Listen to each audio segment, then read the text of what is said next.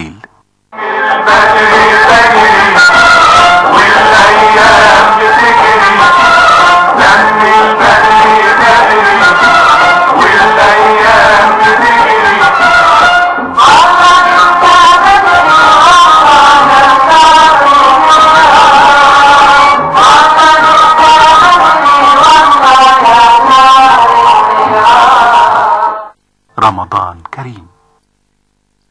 من نبت أرض مصر ومن بين أبنائها أحفاد الفراعنة العظام عقول مبدعة تسعى بالعلم والمعرفة بالعمل الدؤوب والإخلاص المتفاني لخلق مستقبل مشرق لكل أبناء هذا الوطن. وإيد على إيد نبني مصر من جديد.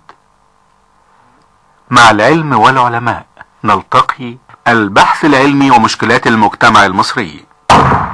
الفجوة العلمية والتكنولوجية في منظومة البحث العلمي. ربط الأبحاث العلمية بالصناعة. وارتباط البحث العلمي بعجلة التنمية. ملفات ساخنة. موضوعات مثيرة. نناقشها معكم وعلماء من بلدي الآن.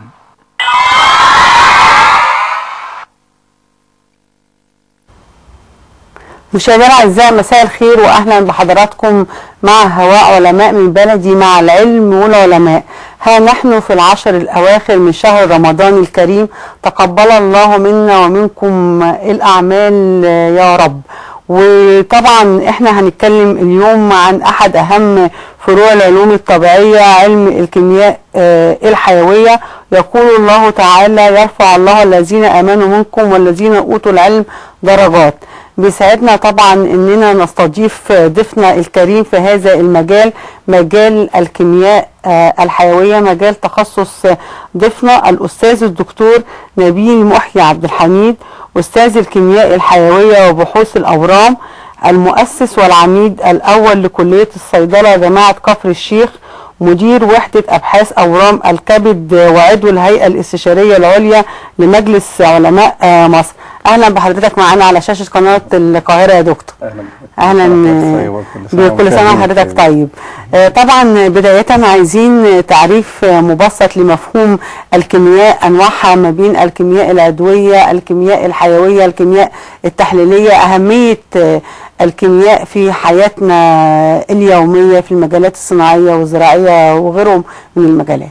أنا أشكر حضرتك على السؤال اولا آه، وعلى طبعا حسن الضيافة ورمضان كريم. رمضان كريم. آه، طبعا ال ال إحنا عندنا العلوم اللي بتخدم الحياة آه، علوم البيولوجي اللي هو اسمه علم الحياة. آه، من ضمن علوم البيولوجي اللي هي علم الحياة حاجة اسمها الكيمياء. الكيمياء اللي هي عبارة عن العلم اللي بيتناول دراسة التفاعلات أو التغيرات التي تحدث داخل كل شيء موجود في الحياة سواء كائن حي أو غير حي.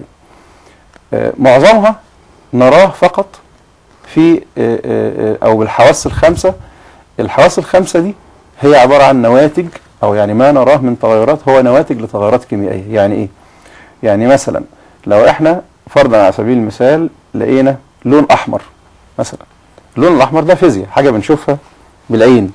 لكن ما عرفناش اللون الأحمر ده جه إزاي. اللون الأحمر جه من تفاعل مواد ملهاش لون مع بعض كانوا مفصولين عن بعض. لما ضفناهم على بعض إدى لون جديد. إدى لون أحمر بسبب تفاعل كيميائي. يعني إيه كيمياء؟ يعني تفاعلات يعني تغيرات تحدث داخل جسم الكائن الحي أو النبات أو كل شتى مناحي الحياة هذه التغيرات هي المسؤولة عن الإبقاء على النوع هي المسؤولة عن انتهاء النوع وهكذا. الكيمياء دي لها تطبيقات كثيرة في حياتنا. في عندنا كيمياء اللي هي بتدرس العناصر اسمها الكيمياء التحليلية زي ما حضرتك تفضلت أو الكيمياء غير العضوية inorganic الكيمياء غير العضوية اللي بتدرس العناصر زي الصوديوم بوتاسيوم كالسيوم مغنيسيوم وهكذا. ودي تطبيقاتها كتير والحديد والنحاس والذهب وهكذا. في حاجة اسمها الكيمياء العضوية. كلمة عضوية دي يعني جاية من عضو. عضو يعني كائن حي. ال- الكيمياء العضوية تعتمد في دراستها على الكربون عنصر الكربون. يعني كل ما هو كائن حي يحتوي على عنصر الكربون ومشتملاته وتركيبه اللي حواليه وهكذا. لو إحنا درسنا المركبات التي تحتوي على عنصر الكربون يبقى إحنا بندرس حاجة اسمها الكيمياء العضوية. تمام؟ وبناء عليه لو حضرتك تشوفي مثلا لما بيسافروا الفضاء لما بيطلعوا فوق فيقولوا مثلا إحنا عايزين نستدل على وجود حياة هنا بيستدلوا بإيه؟ يقولوا مثلا والله ده كان في هنا آثار للحياة من آلاف السنين بيستدلوا على ده بوجود الكربون لأن عنصر الكربون لا يأتي إلا من كائن حي. فلو شفناه في أي مكان نتوقع أن هناك كائن حي أو كان هنا في كائن حي. طب لو درسنا بقى الكيمياء التحليلية اللي هي الغير عضوية والكيمياء العضوية لو ضفنا الاثنين دول على بعض العلوم الاثنين دول ودرسناهم وتطبيقاتهم داخل الكائن الحي هنا نقول عليها الكيمياء الحيوية. أيوه. فبالتالي الكيمياء الحيوية هي دراسة كل أنواع الكيمياء داخل الكائن الحي. بمعنى إيه؟ وحضرتك آه. يعني أنا بدرس مثلا الكيمياء العضوية اللي هي الصوديوم والبوتا... العناصر دي ما في في البني آدم صوديوم وبوتاسيوم وكالسيوم ومغنيسيوم. ما هو العظم بيتكون من إيه؟ صح. الدم بيتكون من إيه؟ وهكذا. وجسم الإنسان فيه نسبة كبيرة من, من الماء كل شيء ومن الأكسجين من كل شيء. شوف حضرتك كل شيء. العناصر اللي موجودة في الطبيعة ال 105 عنصر اللي هم موجودين في الأرض دول موجودين في جسم الكائن الحي. وعلى فكرة جسم الكائن الحي فيه مركبات وعناصر كيميائية مثلا بتكون موجودة في جسم الإنسان وأيضا في النبات محتاجة لنمو النبات. بالظبط وهكذا. فإحنا نتناول كل ده داخل ما يعرف بحاجة اسمها علم اسمه الكيمياء الحيويه منه بقى بتطلع التخصصات. إحنا بندرس علوم الخلية إحنا بندرس الأنسجة بندرس وظائف الأعضاء بندرس التغيرات اللي بتحصل في وظائف الأعضاء. كل ما يحدث في جسم ال- الكائن الحي كيمياء. آه. كل التغيرات اللي بتحصل في جسم الكائن الحي كيمياء. وظائف الكبد هي عمليات كيميائية يقوم بها الكبد. لما إحنا بنقول كلمة إيه؟ وظائف كبد. يعني إيه وظائف كبد؟ عمليات كيميائية مجموعة من التفاعلات يقوم بها الكبد. طب إذا فشلت؟ يبقى في خلل في وظائف الكبد. لما نيجي نقول مثلا وظائف الكلى وظائف الكلى عبارة عن إيه؟ عمليات أو تفاعلات كيميائية تقوم بها الخلية الكبدية. آه. وهكذا التنفس عملية كيميائية. إضافة الأكسجين أو طرح أخذ الأكسجين من الهواء. آه. وإضافته للأنسجة التنفس ده دي اسمها عملية تنفس وبعدين أخذ ثاني أكسيد الكربون وإخراجه بره الجسم في الزفير عملية كيميائية أيضا. أكيد طبعا إن الكيمياء بتكون مرتبطة بالكثير. من العلوم الطبيعية نعم. زي مثلا علم الأرض الجيولوجيا وأيضا نعم. مرتبطة بالفيزياء وبعلم الأحياء. عايزة أسأل حضرتك وحضرتك اخترت مجال الكيمياء الحيوية. حضرتك طبعا مرتبط ارتباط وثيق بحياة الكائنات الحية. نوضح بداية دور الخلية في بدء الحياة ومدلولات الإعجاز العلمي في القرآن الكريم خاصة كيمياء الحياة. وطبعا لحضرتك أحدث اصدار وهو الكيمياء في القرآن الكريم هنتكلم عنه نعم. باستفاضة فيما بعد. نعم. اتفضل يا دكتور هنبدأ بالخلية. آه الأول الخلية. الأول عشان نبسط يعني إيه خلية؟ آه. آه إحنا لو شفنا أي جدار الجدار بيتكون من وحدات متكررة. اللي هي عبارة عن إيه؟ قالب الطوب قالب الطوب ده عبارة عن وحدة بناء الجدار. وإحنا ليه قلنا عليه وحدة؟ لأن الوحدة دي متكررة عدة مرات متشابهة. فعشان كده قلنا وحدة بناء الجدار هي إيه؟ قالب الطوب. مظبوط؟ وحدة بناء النسيج الحي أيضا هي الخلية لأن الخلية متكررة عدة مرات. عشان كده قلنا دي وحدة البناء. الخلية بتمسك في بعضها عدة خلايا في بعض زي قالب الطوب ما بيمسك في بعضه بالإسمنت في برضه أسمنت حيوي. يعني الخلايا مش ماسكة مش جنب بعض كده آه. وبس. لا ده في مادة أسمنتية ماسكة الخلايا ببعضها لما تمسك الخلايا ببعض تعمل النسيج. زي نسيج الجلد. ده اسمه نسيج. النسيج ده متكون من عدة خلايا متجاورة ماسكة ببعضها وبعد كده الأنسجة بتكون ما يعرف بالعضو. زي الكبد زي الكلى زي البنكرياس زي الطحال زي العقل المخ قصدي وهكذا. مجموعة من الأعضاء تكون جهاز. زي الجهاز الدوري. الجهاز الدوري عبارة عن قلب أو أوعية دموية الجهاز الهضمي عبارة عن الكبد بنكرياس الأمعاء المعدة وهكذا. كل الأعضاء دي لما تتكون بتكون جس... سيستم جهاز. مجموعة الأجهزة تكون كائن حي. آه. تمام؟ ننزل تحت خالص بقى. إيه هي وحدة البناء في هذا الكائن الحي؟ هي الخلية. آه. إحنا اتفقنا إن وحدة البناء هي الإيه؟ خليه الخلية دي حاجة زي الكورة كده شبه الكورة كده. وأنا أعتقد يعني إحنا ممكن نكون عندنا فيديو لكده أو صورة لكده. ال- الخلية عبارة عن حاجة زي الكورة فيها مجموعة من المكونات. هي مصنع دقيق جدا وصغير جدا. إحنا يا دوب بنشوفه زي النقطة بتاعة القلم تحت الميكروسكوب. طب لو كبرناه بميكروسكوب أكبر القوة بتاعته أكبر كأنك داخلة مصنع متخصص. كل جزء فيه له وظيفة. الم- المصنع ده عبارة عن سور كبير حواليه اللي هو اسمه جدار الخلية. بيحكمه. عشان مش كل حاجة تدخل الخلية وتخرج من غير سيطرة. زي بالظبط المصنع زي جدار المصنع جدار المبنى. كبير. وبعدين جوه وحدات كل وحدة لها تخصص. وفي النهاية خالص النص بتاع الوحدة دي الوحدة الخلية دي اسمه النواه. النواه دي مركز الخلية. زي بالظبط القرية. تلاقي القرية دي في حواليها زمان زي السور بتاع الطابية بتاع زمان كده. وتلاقي عمدة القرية ده في قلب الايه؟ المركز. تلاقي دوار البلد ده عمره ما يبقى في أطراف القرية. البلد تخرب من الناحية الثانية فدايما دوار العمدة ده لازم يبقى دا- دايما نقول للطلبة الكلمة دي. دوار العمدة ده لازم يبقى فين؟ في نص ال- القرية. الخلية هي العمدة بتاع ال- النواة هي عمدة الخلية. عبارة طب بتسيطر على الخلية ووظائفها إزاي؟ بحاجة اسمها الدي ان إيه اللي هو ما يعرف بالحامض النووي. كلمة نووي جاية من النواة. الحامض النووي ده عبارة عن شريط عامل زي شريط الخيط. طوله لو فردناه كده واسناب الشريط يطلع 3 متر. لكنه بقوة ربنا سبحانه وتعالى وبقوانينه مضغوط جدا جدا جدا لحد ما يكون شيء يدوب نشوفه بالميكروسكوب. نكبره بالميكروسكوب الإلكتروني اللي بيكبر آلاف المرات عشان نعرف إيه هو. حضرتك متصورة؟ أيوه. الطول اللي هو الثلاثة متر ده عليه 300 ألف صفة وراثية. مش 3000 لا 300 ألف صفة وراثية. يعني إيه صفة وراثية؟ اللي هي صفة الوراثية زي الطول زي لون العينين زي لون الجلد زي السمنة زي النحافة. ما هي دي اسمها الصفات الوراثية. والوظائف اللي بتتم داخل جسم الإنسان محطوطة على الشريط. أنت حضرتك متخيل الدي إن إيه عبارة عن الشريط اللي عليه كل حياة البني آدم؟ كل إلا كل وظائفه اللي بتحصل. حتى عليه الجينات اللي خاصة بالموت. يعني ربنا سبحانه وتعالى بيقول إيه؟ هو الذي خلق الموت والحياة ليبلوكم الله. هو الموت بيخلق قبل الحياة. ده كلام لما نيجي إحنا كده علميا ما, ما يد- ما يدخلش دماغنا المفروض الحياة الأول صح؟ وبعدها الموت. أيوه. لكن ال- الشفرة اللي موجودة على الدي ان إيه؟ موجود شفرة الموت وشفرة الحياة. وشفرة الموت لأن ربنا سبحانه وتعالى قال كل من عليها فان أراد أن يخلق شفرة الموت اللي على الدي ان إيه قبل شفرة الحياة. هنا الدي ان إيه ده مسؤول عن التكاثر إن الخلايا بتاعتنا دي بتنقسم. مش إحنا بنتولد أساسا من خلية واحدة؟ مش البني آدم بيتكون من خلية واحدة؟ اللي هي إيه؟ جاية نصها من الحيوان المنوي الذكري والنص الآخر من البويضة الأنثوية. وبعد كده يحصل ما يعرف بالإخصاب أو التلقيح. التلقيح بيديني خلية واحدة كاملة. الخلية دي تقعد تنقسم تبقى اتنين أربعة ومعانا الصور على. الشاشة بالظبط ده ال DNA اللي آه. بيعرض على الشاشة دلوقتي ده آه. ده عبارة عن ال DNA اللي إحنا آه. بنتكلم عليه. ليه شوف حضرتك لو شفت ال DNA هنا هنلاقيه ورق على الشمال زي السلم. أيوه.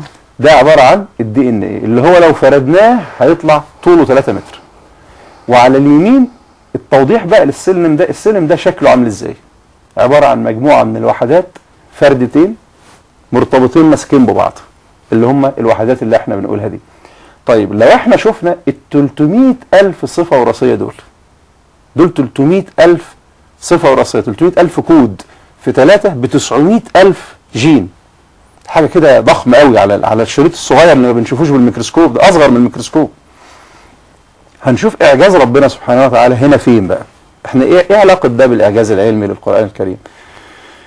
إحنا بما إننا اتكلمنا على ال DNA فهو سر الحياة وسر الخلق في الفيروسات التي الفيروس لا يرى بالميكروسكوب. والذرة على فكرة مذكورة في القرآن طبعا الكريم. الذرة والمجرة لها يعني إيه؟ آه. حديث آخر.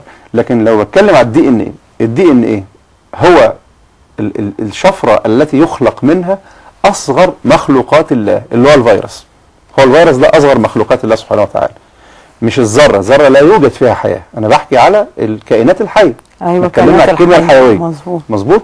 فالكائنات الحية أصغرها على الإطلاق ما يعرف بالفيروس زي فيروس C وفيروس B دي فيروسات. يكبر شوية ال- البكتيريا. أكبر شوية الطحالب الفطريات النباتات بشكل أنواعها الحيوانات ثم الإنسان. اللي هو على رأس القمة البيولوجية هو الإنسان. تمام؟ لما نشوف الدي ان إيه اللي بيتكون منه الفيروس والبكتيريا النبات والطيور والنباتات البح... والحيوانات البحرية زي الأسماك وبعدين والديناصور اللي, اللي انقرض من آلاف السنين والإنسان كلهم مخلوقين بنظرية واحدة. سبحان الله. هي دي الفكرة بقى. ان طب وإحنا إيه اللي خلانا برضو فهمنا إن هي مخلوقين بنظرية واحدة؟ ربنا سبحانه وتعالى بيقول في القرآن الكريم ولو كان فيهما آلهة إلا الله لفسدتا يعني ربنا بيتحدى كل خلقه بيقول لهم إن إيه؟ ربنا وحيد. مش ربنا قال في القرآن الكريم قل هو الله إيه؟ أحد. ماشي؟ إحنا عايزين ننظر للقرآن كناس مفكرين ما إحناش متدينين. فهل القرآن كفيل بالعلم وليس بالدين إنه يلفت نظرنا أن الخالق واحد؟ ما فكرة الإعجاز العلمي جاية هنا عشان كده. اللي هو أنا بقرأ كتاب بدل ما أتعامل معاه بمنظور ديني إحنا كناس متدينين لا أنا عايز أتعامل معاه بمنظور علمي كواحد غير معترف بكل الأديان مثلا. فهتعامل معاه كحاجة علمية مادة علمية. هل المادة العلمية دي فيها أسرار تخليني كإنسان مهما بلغ علمي أقول ده اللي خلق الخلق المخلوقات دي كلها واحد؟ هو ده السؤال. الفيروسات لما نيجي نحلل الدي إن إيه هنلاقيه متكون من خمس عناصر فقط. اللي من أول الفيروسات للحيوان للنبات للديناصور للإنسان كل دول لما حضرتك تمسكي أي دي ان وتفرديه وتقول أنا عايز أحلل العناصر اللي إحنا قلناها في المقدمة هنلاقي فيه خمس عناصر كربون أكسجين هيدروجين نيتروجين وفوسفور. فقط. أيوه طبعا هنرجع نكمل والإعجاز العلمي وجود طبعا كل شيء في القرآن الكريم العلماء دلوقتي بعد حوالي أكتر من يعني 1400 1400 سنة آه، و30. سنه ونقدر نقول بيجروا الأبحاث وما زالوا يجرون الأبحاث وقدرة الله سبحانه وتعالى فوق الجميع. فاصل ونعود إن شاء الله. الكيمياء الحيوية. أحد فروع العلوم الطبيعية والتي تختص بدراسة كل ما هو متعلق بحياة الكائنات الحية. نطفة في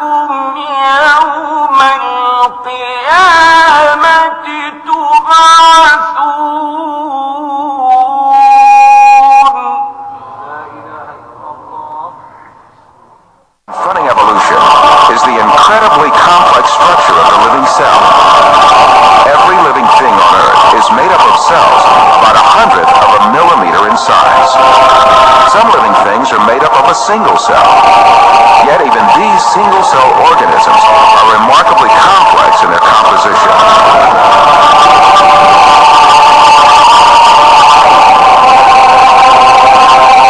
They have complicated functions to survive, and even little motors to move. In Darwin's time, this complex structure of the cell was unknown. With the primitive microscopes of those days, cells appeared to be little more than featureless stains.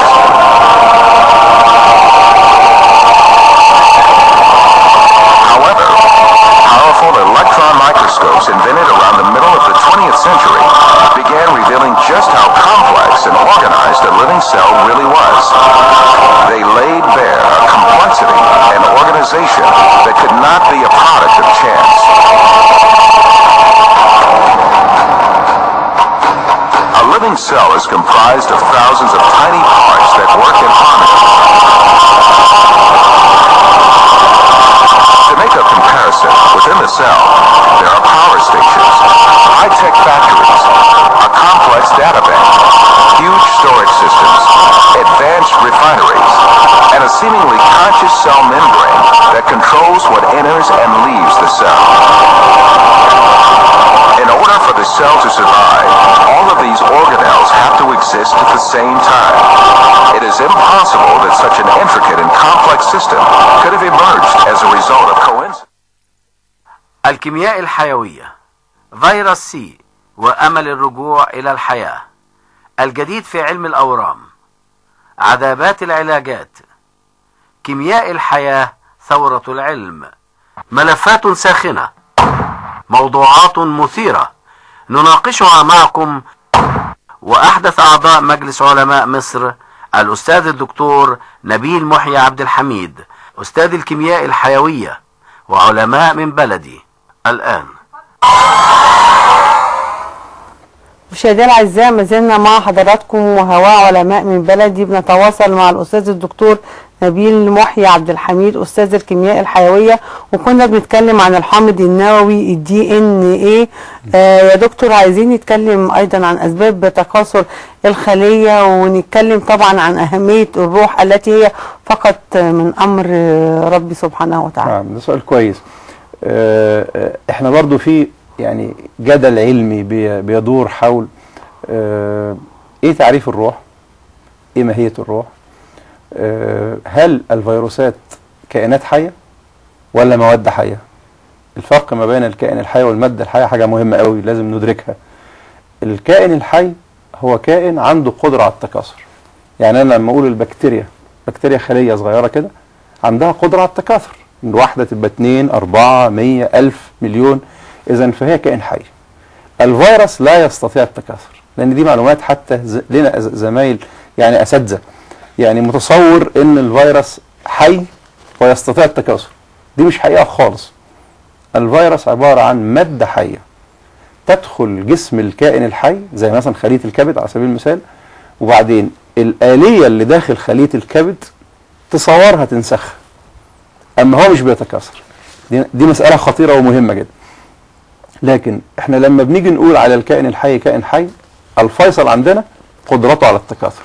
عشان أقول إن ده ده كائن حي يبقى لازم يكون عنده قدرة على التكاثر. طب لو ما عندوش قدرة على التكاثر ما يبقاش كائن حي. ندي أمثلة بقى. مثلا الحيوان المنوي اللي هو مني الرجل. هل إحنا ممكن نعمل له إكثار؟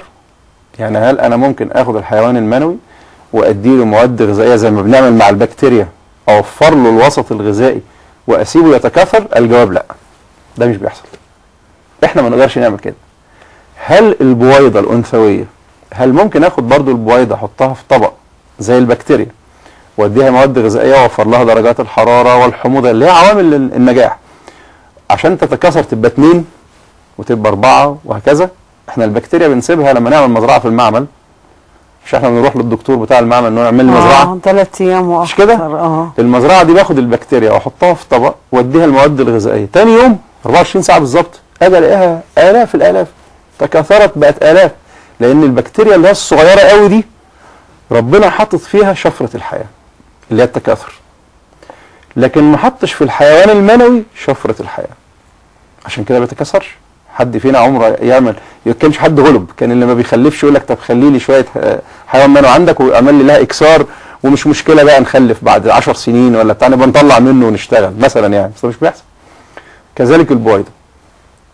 السؤال هنا بقى.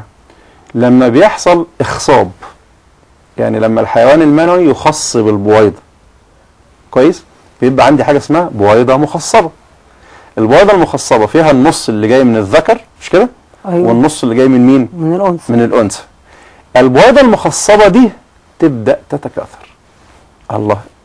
إذا علامة التكاثر ما كانتش أو قرار التكاثر أو الجينات اللي موجودة على الدي ان إيه اللي في الذكر لوحدها لم تكفي لخلق الحياة اللي هو الإيه؟ لرسالة التكاثر. واللي موجود على البويضه لا يوجد فيه. هو يقول لك التكاثر بم- هي مش محتاجة من من الذكر في حاجة. ده كروموسومات منفصلة عن قصاد بعض كده. اللي جاي من الذكر واللي جاي من الأنثى. لكن ده لوحده غير قادر على التكاثر وده لوحده غير قادر على التكاثر. صح؟ صح. طيب لما بتخصب بيديني حاجة اسمها البويضه المخصبة. البويضه المخصبة دي تبدأ تتكاثر. تلاقي البويضه تبقى اتنين البويضه المخصبة الخليه دي تبقى اتنين والاثنين يبقوا أربعة والأربعة يبقوا ثمانيه لحد ما يعمل الجنين البني آدم أو الحيوان أو أي الجنين بشكل عام. السؤال هنا بقى هل الروح التي بثت فيها أو القدرة على التكاثر بين قوسين كانت موجودة على واحد فيهم؟ الجواب لأ. ما هو لو وجود موجود على واحد فيهم هيتكاثر من تلقاء نفسه. مظبوط؟ مظبوط. لكن لما خصبت البويضة أرسلت إليها رسالة التكاثر كأنها رسالة SMS. مش ربنا بيقول فإذا سويته ونفخت فيه من روحي؟ نفخت فيه من. روحي؟ يعني آه. هو وليه لما ربنا ما كان سابها فإذا سويته بقى بشر زي ما ربنا بيقول فقعوا له ساجدين. لكن قال ونفخت فيه. يعني حط النفخ الروح شرط لإنه يبقى بشر. سوي فقعوا له ساجدين مش كده ولا إيه؟ هنا ربنا سبحانه وتعالى بيقول إيه؟ إحنا في الخلق إحنا نستطيع التعامل زي ما شو بتشوفي حضرتك كده مثلا التلقيح الصناعي.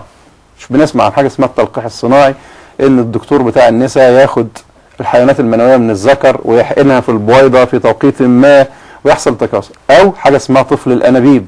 ناخد الاثنين البويضة والحيوان المنوي ونزرعهم بره ونرجعها الرحم الأم. مش كده؟ أيوه. دي كلها عمليات إيه؟ مادية علمية تخضع لقوانين الطبيعة وقوانين العلم. أنا دارس وعارف تركيبه ده إيه وعارف محتاج إيه عشان يعيش محتاج إيه عشان يتكاثر. بس المؤسف إن القرار النهائي قرار ربنا. ربنا قال ويجعل من يشاء إيه؟ عقيم.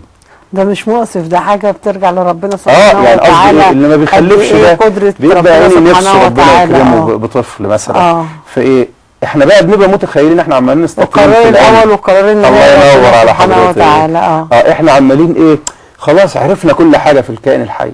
درسنا أدق شيء في في الخليه درسنا الدي ان إيه بتاع الذكر وبتاع الأنثى. خلاص عرفنا كل التفاصيل. المفترض نستغنى بقى إحنا كعلماء فرضا إن إحنا علماء ما عندناش دين بقى علمانيين وسايبين الدين وكذا لا نؤمن بالحياة. زي ما إحنا أنا ناقشت ناس في الغرب يقول لك أنا أؤمن بالطبيعة. أنا لا أؤمن بالأديان ومش معترف بالأديان. أوكي. لكن تعالي حط قدامه هذا الإعجاز. قول له طيب بما بتخ- بتؤمن بالطبيعة ما تقول لي لماذا نفشل بما إننا اتبعنا جميع الخطوات؟ إحنا ليه بنفشل في إننا نحط أمر التكاثر النهائي؟ الدليل على ذلك اللي بتروح لدكتور عشان يعمل لها عملية من دول بيمضيها على إقرار يقول لها نسبة النجاح 7% نسبة النجاح 5% تروح تدفع الفلوس. وتمضي على إقرار إن هي الدكتور غير مسؤول عن النتيجة. أنت حضرتك متصور؟ أمال لما أنت غير مسؤول عن النتيجة أمال مين اللي بيعمل؟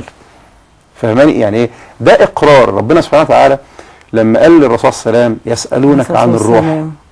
قل الروح من أمر ربي. آه. وما قالش وما أوتيتم من الوحي إلا قليلا وما أوتيتم من الدين قال وما أوتيتم من العلم برضه. العلم لا يعني لا أعتقد أن العلم مقصود اللي هو الخبر. إحنا خلاص ربنا إيه قال سنريهم آياتنا في الآفاق وفي أنفسهم. يعني بس مش بس هنتفرج عليها في الكون لا وفي أنفسنا اللي هي الأسرار اللي بنتكلم عنها دي. حتى يتبين لهم أنه الحق. أولم يكفي بربك أنه على كل شيء شهيد؟ يعني ربنا سبحانه وتعالى شوف حاطط قاعدة لنا للخلق إن هو إيه ربنا كل شوية هيبعت لنا رسالة علمية. عشان إحنا ما ندنناش متخيلين إن الحياة بتحكم بقوانين الطبيعة. إن مفيش وراها واضع للنظرية. مفيش وراها حد هو اللي بيحرك النظرية. أنت حضرتك متصور؟ يعني لما ربنا بيقول ويجعل من يشاء عقيمه يعني مشيئة ربنا سبحانه وتعالى هي الفيصل. الروح ليست كيمياء لأن ده كلام مهم جدا وخطير. أنا عرفت ال DNA كله بالمناسبة مصر هنا موجود فيها كذا جهاز بيحلل ال DNA خالص. يعني يطلع لك ال DNA كده نعرف إن ده بتاع مين وده بتاع مين. فكرة النسب والبنوة والحاجات بتاع الطب الشرعي دي إن مثلا حد يجي يقول ده ده ابن فلان مثلا يعني. طب أنا أعرف منين إن هو ابن فلان أو لأ؟ بتحليل الدي ان إيه باخد عينة من الأب وعينة من الأم وعينة من الجنين المد... اللي عليه الكلام ده. واحللهم الاثنين بتجيلي صورة واضحة جدا زي الشمس تخليني أقول بما لا يدع مجال للشك. ده ابنه أو مش ابنه؟ سبحان الله. هنتكلم يا دكتور طبعا دكتور نبيل محي الدين دكتور نبيل محي عبد الحميد أستاذ الكيمياء الحيوية وبحوث الأورام. أيضا لحضرتك مؤلفات كثيرة جدا بجانب الكيمياء في القرآن الكريم. حضرتك عندك تحدي الأمراض بالثوم كيف تقوي مناعتك بالأعشاب كنوز الطب الشعبي البديل؟ من خلال تلك المؤلفات هل حضرتك بتنادي إلى الطبيعة في ظل التطور العلمي الحديث؟ يعني رأي حضرتك نربط الكيمياء والطبيعة. أنت عارفه حضرتك يعني إيه هذا السؤال؟ يعني زي ما بيقولوا بيثير شجون. آه يعني إذا الناس آه، آه، ترك لها آه، اللجوء إلى الطبيعة. أنا عملت تقريبا 30 حلقة في برنامج كان اسمه من الطبيعة. آه، لو ترك للناس القرار في إن هم يرجعوا للطبيعة الشيء المخجل والمؤسف والمحزن إن بيترك هذا لمن ليس لديه خبرة بالنبات الطبية والطب البديل. يعني بيترك للمشعوذين وإصحاب الدجل وكذا. وبعدين تقعدي حضرتك تسمعي في الفضائيات ما شاء الله واحد يجي يقول أنا بعالج فيروس سي بالاعشاب واحد يقول أنا بعالج السكر علاج نهائي بالأعشاب. يعني أحدث ما سمعت وبتعمل عنه إعلانات يمكن حضرتك بتشوفها في فواصل رمضان دلوقتي إن يقول لك إيه؟ إن إحنا عندنا آه، اكتشفنا شيء بيعالج السكر. ده اللي يقول أنا عالجت سكر النوع الأول ده ياخد جائزة نوبل وهو مغمض. يعني الناس بتتكلم عن الاستخدام الطبيعه في العلاج بصراحة يعني بمنتهى الاستخفاف بالعقول. أنا شخصيا أنا أدعو إلى استخدام الطبيعة. أنا عندي أيوة. أبحاث معظم أبحاثي فيها استخدام للنباتات الطبية. بس بشكل علمي مقنن مش بشكل الدجل والشعوذة اللي يبعد الطبيب عن الدايرة. لأن إحنا زي ما بنشوف في الفضائيات لو حضرتك تتابعي هتلاقي كل الناس تقول لك إيه؟ اللي عنده فيروس سي وخايف منه ما يقلقش. أنا هكتب لك وصفة تاخدها وروح اعمل حلل واتحداك يعني الكلام ده يعني ده العالم صرف مليارات عشان يعالج فيروس سي. اللي يقول مثلا أنا هديك آه، وصفة تعالج الأورام مثلا. إحنا بنسمع الكلام ده على الفضائيات كتير. اللي يقول مثلا على سبيل المثال حتى إقحام الدين في الطب دائما ما بيخدمش لا الدين ولا الطب.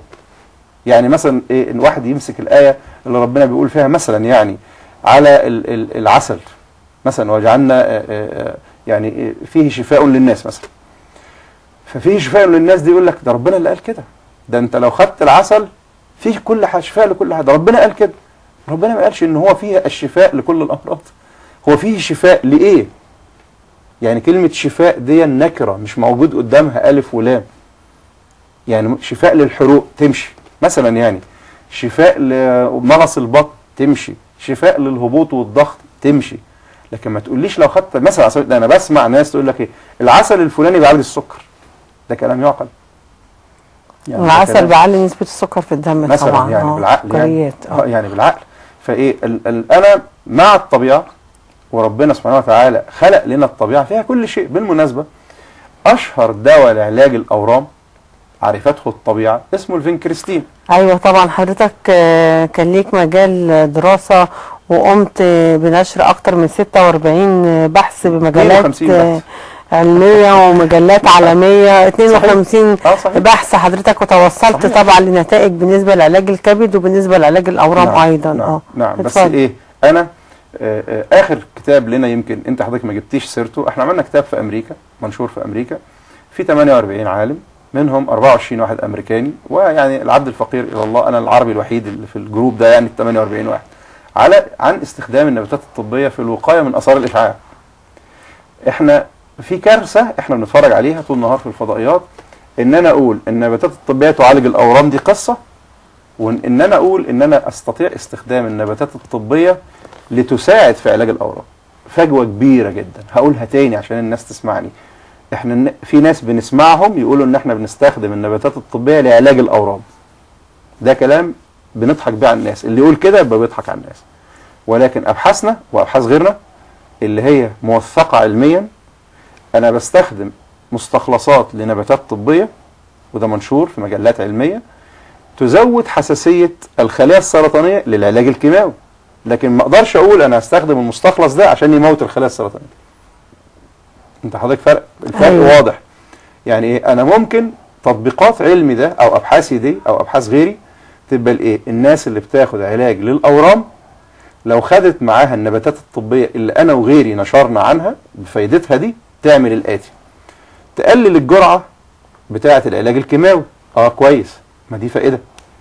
تقلل الأضرار الجانبية بتاعة العلاج الكيماوي. ده الناس بتوقف بسبب الأضرار الجانبية. مش كده؟ تزود استجابة الخلايا السرطانية. إحنا أساسا في العلاج الكيماوي بنعمل إيه؟ إحنا بنصطاد الخلايا السرطانية.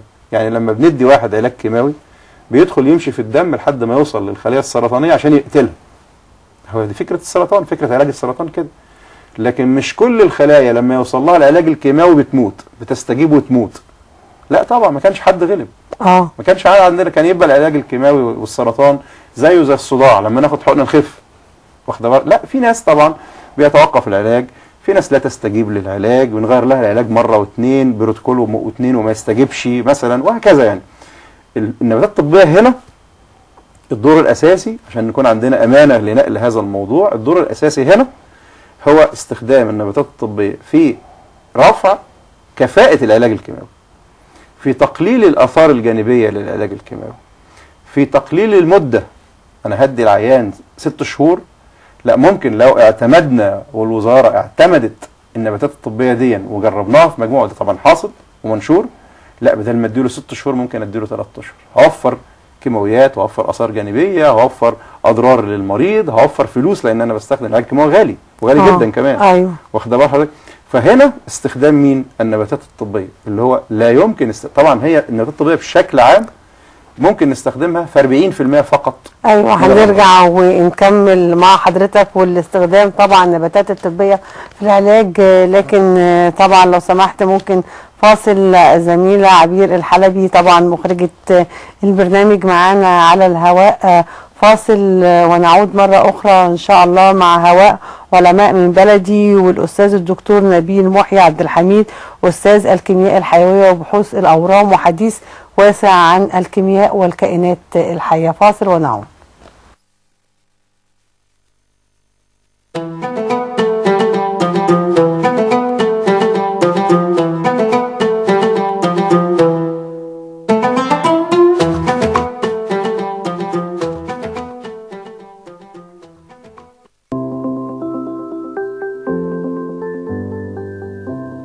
فترة الحمل ابدأي اسألي على وسائل تنظيم الأسرة بعد الولادة وحاولي تكون الولادة التانية ليكي بعد ثلاث سنين على الأقل بعد الولادة. وقبل ما تسيبي المستشفى على طول الدكتور هيوضح لك أهمية الرضاعة الطبيعية ووسائل تنظيم الأسرة اللي هتناسبك أثناء الرضاعة وهيساعدك على اتخاذ القرار بوسيلة من الوسائل اللي ممكن استخدامها مباشرة بعد الولادة لأن الخصوبة بترجع بعد أربع أسابيع بس من الولادة. خلال زيارات ما بعد الولادة ما تنسي على وسيلة تنظيم الأسرة المناسبة ليكي. للحفاظ على صحتك انت وطفلك. لما تروحي أول تطعيم لطفلك هتلاقي اللي يوضح لك كل وسائل تنظيم الأسرة اللي ممكن تستخدميها في الأسابيع الأولى بعد الولادة. وكمان هيساعدوك على اتخاذ القرار عشان ما يحصلش حمل انت مش مستعدة ليه.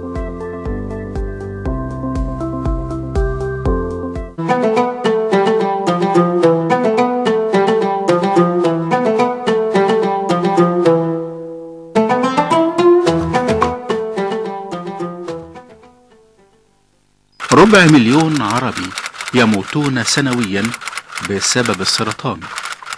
كيف نكبح جماح هذا المرض؟ أهمية نشر الوعي الثقافي.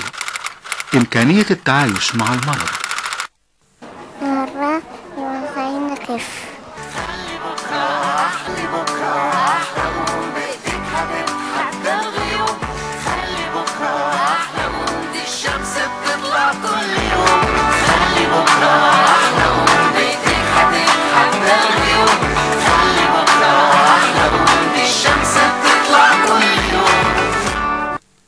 وقانا الله وإياكم شر هذا المرض. مشاهدينا الاعزاء عدنا مرة تانية مع الأستاذ الدكتور نبيل محيي عبد الحميد أستاذ الكيمياء الحيوية وهي الكيمياء المرتبطة بالكائنات الحية. دكتور كنا بنتكلم قبل الفاصل عن الأورام وقد إيه لازم يكون في وعي صحي ووعي ثقافي ووعي آه، بيئي لدى المواطن آه، المصري لتجنب هذا المرض والوقايه منه إن شاء الله. قبل الإصابة والعلاج. آه صحيح. أنا أشكر حضرتك على السؤال لأن يعني الفاصل اللي خاص بالأورام الحقيقة يعني يعني لفت نظري وده شيء كويس. يعني هو بأمانة ال- الإعلام بدأ يسهم بشكل فعال آه، في في أمراض المجتمع المصري. لأن أنا يمكن في معظم الحلقات والمقالات اللي كتبتها كنت دايما أقول إن أين دور الإعلام؟ لأن الحوار ده مش يعني معظم المرض مش جاي مشكلة يحلها الطبيب لوحده. يعني ما أنا عايز قبل ما يجي للطبيب المجتمع يكون حل الأزمة دي. يعني دي دي مسألة الحقيقة. يعني كلمة حق تقال الإعلانات اللي سواء كانت الدولة بقى هي اللي بتدفع ثمنها أو القنوات هي اللي بتدفع أو جهات بتدفعها عشان تخلينا نعرف مشكلة السرطان ومشاكله والمستشفيات اللي بتتعمل وإزاي نساعد الناس وإزاي نساعد المرضى. ده الحقيقة شيء لازم على الهوا أشكر الناس عليه بأمانة يعني لأن ده شيء مشرف. لكن آه، إحنا إزاي نقلل الأورام؟ ده سؤال الحقيقة مهم جدا. آه، إحنا الأورام مسألة very complicated يعني هي مسألة معقدة. بمعنى إحنا لا نتصور إن الخلية بتروح صاحية من النوم كده تلاقي نفسها عمالة تتكاثر بجنون فيحصل ال- اللي إحنا بنسمع عنه اللي هو السرطان. واخده؟ ده توصيف للحالة. لكنه قبل ما ده يحصل الخلية ببساطة بما إننا اتكلمنا على الخلية واتكلمنا على الدي ان إيه الدي ان إيه الشريط اللي موجود داخل الخلية ده عليه مجموعتين من المجموعات اللي بتحكم حياة الخليه مجموعة مسؤولة عن تكاثر الخليه إن الخليه تبقى اثنين وأربعة داخل جسمنا الخليه اللي بتموت واحد بيحلق دقنه وبتموت خلية ويطلع مكانها. أيوه. مش كده؟ ومجموعة ثانية تموت الخليه الخلية لها عمر بينتهي فيها عليها جين بيموتها. اسمه جين الإيه؟ الشيخوخة. ال- التوازن ما بين الاثنين اللي هو الجين بتاع الحياة وجين الموت هو النمو الطبيعي للخلية. تمام؟ طيب لو الجينات اللي بتموت الخلية ضعفت تقوم اللي بتنمي الخلية تكبر. نشاطها يزيد. لما نشاطها يزيد الخلية تتجنن بدل ما بتتكاثر بمعدل خلية كل شهر لا بتتكاثر بمعدل خلية كل يومين ثلاثة مثلا يعني. فنلاقي العضو حجمه بيكبر اللي هو اللي يعرف بالورم. طب مين اللي بيخلي لي المعادلة اللي جوه دي؟ مجموعة أسباب. يعني عشان يحصل تسرطن لازم يسبق التسرطن اللي هو قرار الخلية في التكاثر أخطاء إحنا لنا دور كبير فيها. هو ده ده كلام مهم قوي ندي أمثلة بسرعة كده. مثلا لو واحد مريض عنده فيروس C أو فيروس B وما اتعالجش ده من أكبر أسباب تسرطن الكبد. يعني سرطانات الكبد اللي بنسمع عنها وزراعة الكبد وموت الناس بسبب سرطان الكبد بسبب إيه؟ إن مريض ده أكتر الأسباب. اللي تخص سرطان الكبد تحديدا اللي هو يعني مجال بحوثي كلها. إن مريض جاله فيروس C وسمع الدجل اللي بيسمعه في- بعض الفضائيات كده ما تروحش للدكتور لحسن ده له أعراض جانبية خد مش عارف إيه اذا انه ياخد كده لمدة سنين والكبد عمال يتليف يتليف يتليف لحد ما يروح متسرطن مثلا. فبالتالي أنا عايز أمنع المفروض إحنا لنا دور كلنا مش الطبيب. الطبيب مش قاعد يدي محاضرات للعيان.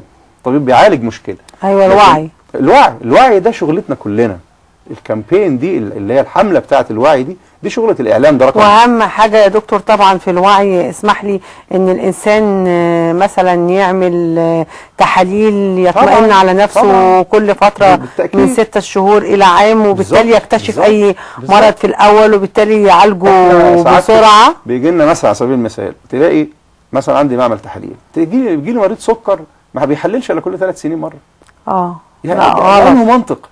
يعني أنت بتدنس دلوقتي في أجهزة قياس السكر كل يوم آه، آه، بس ده لا ينصح بيها لأن في ناس آه. كويس إن حضرتك سألتيني ده لا ينصح بالجهاز الصغير ده. آه. الجهاز الصغير ده إحنا اللي اسأنا استخدامه للأسف. هو مش جاي للمريض هو جاي للطبيب عشان أنا لو جريت معايا الشنطة وجريت لقيت عند واحد غيبوبة وشكيت في سكر شكه الصباع دي تخليني أعرف ان عنده سكر. يبقى أبدأ أتعامل معاه كمريض سكر. لكنه الناس للأسف بتسيء استخدامه بيتابعوا بالعلاج بيه. هو في فلسس في أخطاء بتبقى كتير بال60 وبال40 وأرقام لما يجي يعيد التحليل في المعمل بنلاقي فرق كبير. فبدنه معتمد على العلاج باستخدام الجهاز ده يقوم يأذي نفسه لمدة طويلة. نبدأ نلاقي توابع السكر الشبكية تتأثر نزيف للعينين ده القزحية ال- ال- القرنية بتاعت العين بتتغير عدسة العين تتغير وهكذا. هو مهمل.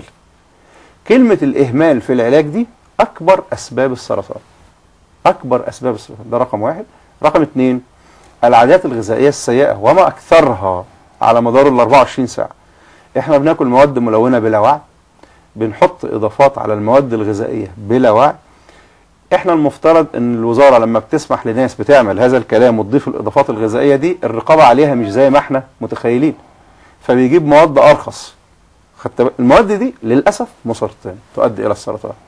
اللب الفول السوداني الفول القمح كل الحبوب دي إذا اسيء تخزينها بينمو عليها فطر. الفطر ده اسمه Asperga- Aspergillus بي بينتج مادة الجرعة منها 2 مللي جرام على الكيلو جرام تعمل سرطان. أيوه اسمح لنا يا دكتور طبعا آه، هذا الفاصل وبنأمل إن الناس تستفيد واستفادت بالفعل من حوار حضرتك هذا الفاصل مع السيرة الذاتية ونعود مرة أخرى مع الدكتور نبيل محيي عبد الحميد. الأستاذ الدكتور نبيل محيي عبد الحميد ابن محافظة الدقهلية. حصل على بكالوريوس العلوم الصيدلية كلية الصيدلة جامعة الزقازيق في مايو 85 والماجستير في الكيمياء الحيوية عن الليثيوم وتأثيره على بعض مكونات المخ في مايو 89 وحقق درجة الدكتوراه عن دراسة كيميائية بعض العوامل ذات السمية على كبد الفئران في أكتوبر 99 الأستاذ الدكتور نبيل محيي عبد الحميد أستاذ الكيمياء الحيوية. عمل أستاذا بجامعة الملك محمد بن سعود بالرياض وكبير صيادلة بالمستشفى الأمريكي السعودي. وعمل مدرسا للكيمياء الحيوية بكلية الصيدلة جامعة المنيا وأستاذا مساعدا إلى أن ترأس قسم الصيدلة بها في 2011 تولى وكالة كلية الصيدلة جامعة المنيا لشؤون خدمة المجتمع وتنمية البيئة. وأسس وتولى عمادة كلية الصيدلة جامعة كفر الشيخ من أغسطس 2012 إلى يونيو 2014 وهو الآن أستاذا للكيمياء الحيوية مديرا لوحدة أبحاث أورام الكبد. العالم الأستاذ الدكتور نبيل محيي عبد الحميد مدير وحدة أبحاث الكبد. تبنى إنشاء بنكا حيويا لجمع العينات الدموية والنسيجية من المراكز المختلفة بمصر والوطن العربي لخدمة البحث العلمي وأشرف وناقش العديد من رسائل الماجستير والدكتوراه في مجال التخصص أورام الكبد والتشخيص المبكر لها وله من الأبحاث العلمية المنشورة دوليا بحث افتتاحي مرجعي بصفته عضوا فعالا بهيئة تحرير المجلة العلمية الدولية لعلوم الكبد وأخرى عن تسمم المياه والعديد من المقالات عن التعريف بأنفلونزا الخنازير. وهو أستاذ زائر ومحاضر علمي بالعديد من الدول العربية والأوروبية وشارك في العديد من المؤتمرات العلمية المحلية والدولية في مجال كيمياء الحياة. ومن المؤلفات العلمية لعالمنا نذكر تحدي الأمراض بالثوم. كيف تقوي مناعتك بالأعشاب؟ كنوز الطب الشعبي البديل والكيمياء في القرآن الكريم. العالم الأستاذ الدكتور نبيل محيي عبد الحميد. قام بإعداد مشروع تطوير الدراسات العليا بكلية الصيدلة بما يحقق خدمة في حل المشاكل المتعلقة بأمراض مصر المنتشرة كالتهاب الكبد الفيروسي وأورام الكبد. وهو عضو الجمعية الأمريكية للكيمياء الحيوية والبيولوجيا الجزيئية والجمعية المصرية للكيمياء الإكلينيكية والرابطة الطبية المصرية للسكر. والجمعية المصرية للطب البديل وحماية حق المريض وجمعية الشرق الأوسط لبحوث السرطان والجمعية العربية للعلماء. ورشح من قبل المعهد الأمريكي للسير الذاتية بوضع اسمه ضمن قائمة علماء ال ABI في مجال الكيمياء الحيوية. قال رسول الله صلى الله عليه وسلم العلماء ورثة الأنبياء. وإن الأنبياء لم يورثوا درهما ولا دينارا وإنما ورثوا العلم فمن أخذه أخذ بحظ وافر علماء من بلدي معكم في رمضان. تشاهدونه في الأوقات التالية.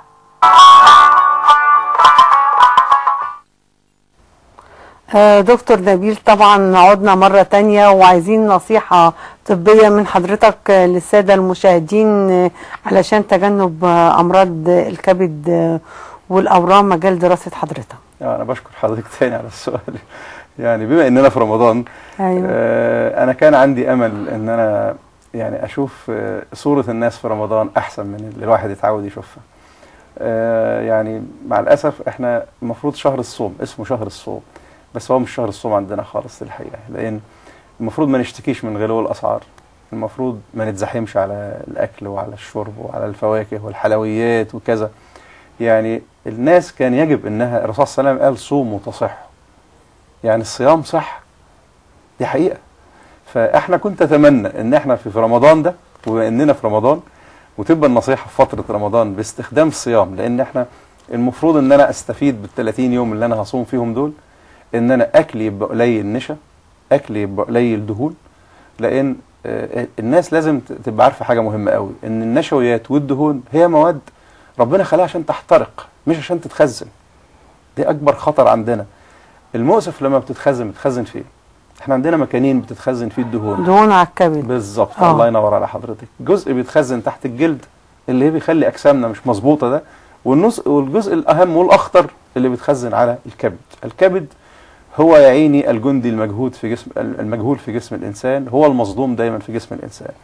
آه، نحن نتعاطى يعني اللي بيشرب سجاير واللي بيستخدم أدوية بكثرة واللي بياكل أكل دسم واللي بياكل ال take away وال delivery. كل دي عادات سيئة تؤدي إلى يعني إضاعة شيء مهم جدا في حياتنا اللي هو الكبد.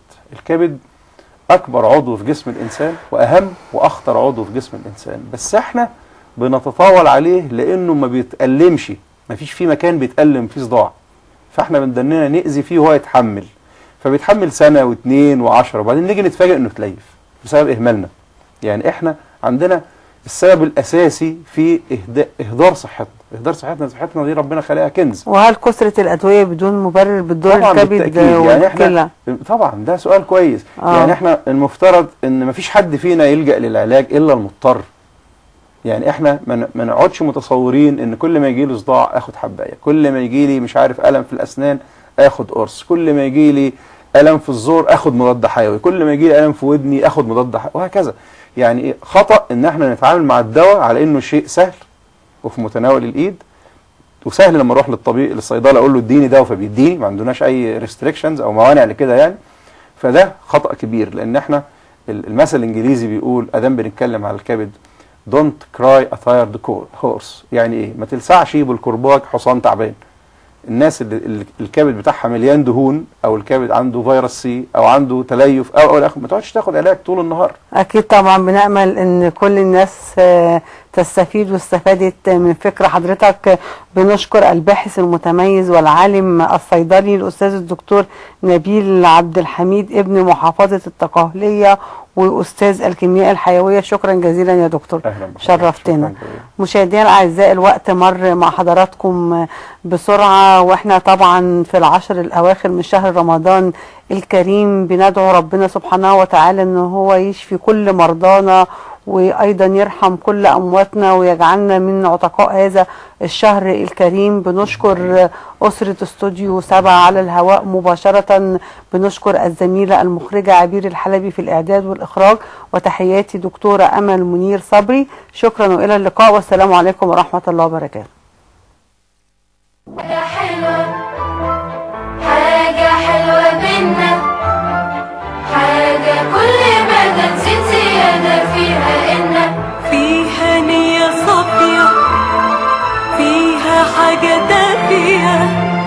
حاجة بتخليك